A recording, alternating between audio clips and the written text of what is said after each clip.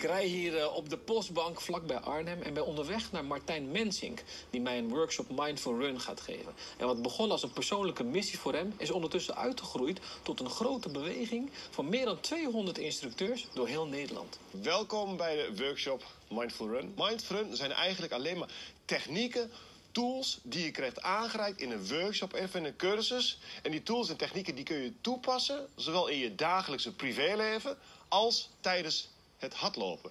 En die tools gaan eigenlijk alleen maar over ademhalingstechnieken, de neusademhaling en beter worden in voelen. En als je de technieken goed oppakt, dan ga je namelijk al snel ervaren dat het leven een stukje lichter wordt.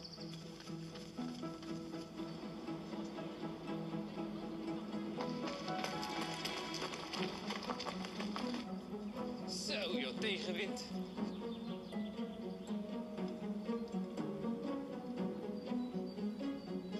Is eigenlijk de bedoeling dat je wel de handen vasthoudt, maar dat je eigenlijk door middel van draaien over elkaar heen, dat je eigenlijk in één grote cirkel weer opnieuw krijgt.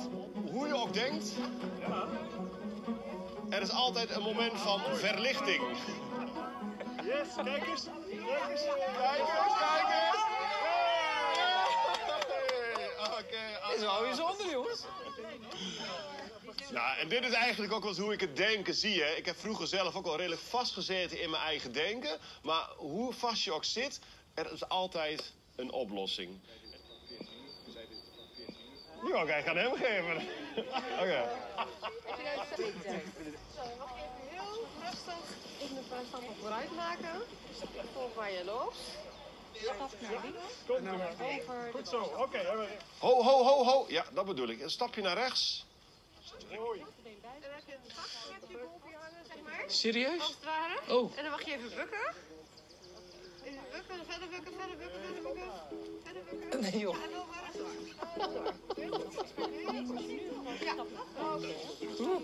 Je moet er echt in zitten. En dan is ook waar zit je met je gedachten. Je hebt dus 21 afgesloten. Je bent niet bezig met de dag van morgen. Je bent niet bezig met vanavond. Je bent ook niet bezig wat er gisteren is gebeurd. Je bent heel erg alert in dit moment. En dat is wat ik eigenlijk zie met mindfulness. Aanwezig zijn in het moment. En ik kreeg steeds vaker aanvragen van andere mensen. Martijn, wat jij doet, kan ik dat ook doen?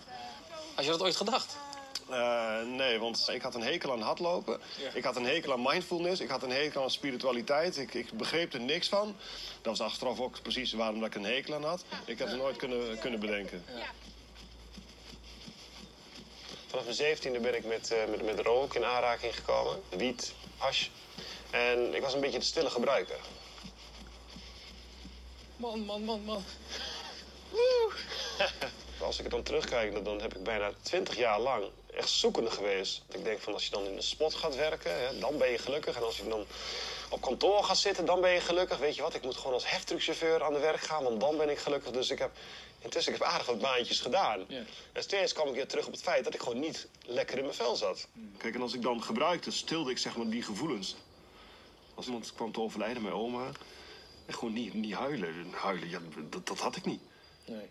Ik was gewoon versteend. En als ik nu kijk, ik huil graag. Het lucht me heel erg op als ik huil. Als ik, eh, als ik thuis ben, als ik Lin zeg maar zie. En ja, dat, dan, dan, dan komen de emoties naar boven. Als ik aan situaties terugdenk in het verleden, dan kan het zomaar zijn dat ik eh, ja, de emoties niet meer onder controle heb.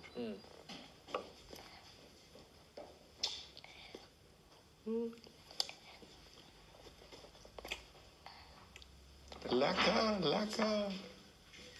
Wat is er met haar aan de hand eigenlijk? Ja, zij heeft een, eh, een chromosoomafwijking. Ze heeft trisomie eh, 9. Dat is een eh, zeldzame chromosoomafwijking. In Nederland eh, zijn ongeveer 10 kindjes bekend die het eigenlijk hetzelfde syndroom hebben. En dat is eh, zowel lichamelijk als, eh, als, als, als mentaal, zeg maar. Ze kan niet praten. Ze is wel bewust, zeg maar. Dus ze heeft heel weinig spierspanning. Dus ze kan alleen maar vloeibaar voedsel eh, tot zich nemen. Dus nu eh, krijgt ze fruit. Hoe was dat toen, ze, toen je vader werd van eh, Lin? Ja, ja dat is... dat is bijzonder. Dat kun je niet... Leg eens uit, bijzonder. ja. ja, we wisten met 20 weken echo. Dan kwam je er wel een beetje achter van.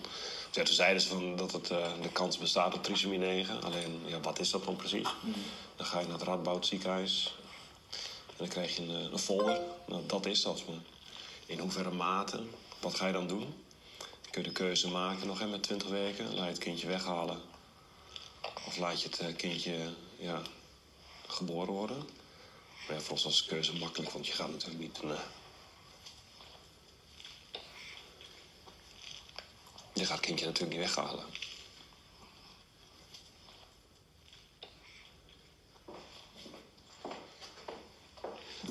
Dat is mooi. Met plezier, hè? Ja. Nou ja, ik zie jou zelf altijd wel een beetje als eh, boe- ons boedinnetje in huis, eh, om het maar even zo te zeggen. Wat maakt dat het een kleine boeddha is? Ja, dat, dat ze eigenlijk volledig zijn is. Volledig aanwezig Verlicht. zijn, verlicht zijn. Dus eh, zij, eh, ja, dat is het enige eigenlijk wat zij ook beheerst natuurlijk. Want ze kan natuurlijk ook niet goed nadenken. Dus ze kan ook niet heel veel anders. Maar ja, toch kunnen wij daar wel heel veel een voorbeeld aan nemen. Gewoon genieten op de momenten dat het kan. En op de momenten dat het, eh, ja, dat het niet kan, dus dat er dingen zijn die gewoon verdrietig zijn, ja, dan mag je ook gewoon verdriet hebben. En dat is echt precies wat zij ook doet. Op het moment dat ze verdrietig is, dan huilt ze. Op het moment dat ze boos is, dan wordt ze boos. Maar op het moment dat het weer een minuut later weer goed is, dan lacht ze ook gewoon weer. En dan is ze dat boos zijn ook alweer volledig vergeten. En wat wij gewoon doen, is natuurlijk vaak blijven hangen in allerlei zaken en allerlei dingen. Ik kijk ook naar jullie en jullie zien er allebei fantastisch uit. En, eh, terwijl ik denk bij mezelf, ja, ik zou misschien echt eh, honderd keer gebroken zijn. Hoe wij mindfulness zien is eigenlijk heel simpel. Van beter worden in voelen en beter worden in ademhalen. En die twee processen, als je die eh, ja, tot je neemt, iedere dag weer... Ja, dan krijg je een soort van ja, bewustzijnsverandering, procesverandering. En dat is eigenlijk wat wij de hele dag door ja, gewoon doen. En nu zijn die piekmomenten die zijn minder piekachtig. Ja. En die dalmomenten zijn minder dalachtig. Dus je bent meer op de neutrale lijn.